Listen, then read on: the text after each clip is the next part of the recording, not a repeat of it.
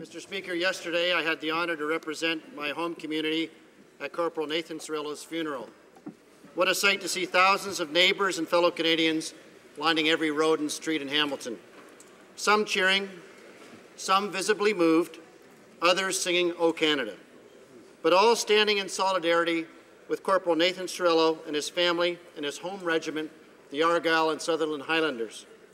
In times of national tragedy, a country has a choice to shutter its windows and close itself off to the world.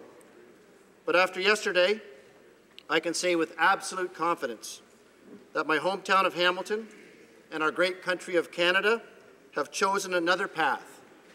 Canada has come together stronger than ever to stand behind Corporal Nathan Cirillo and Warrant Officer Patrice Vincent. Our society, our democracy mourns their loss, and we're stronger and all the more confident because of their sacrifice. God bless the families of Nathan Cirillo and Patrice Vincent, and God bless Canada.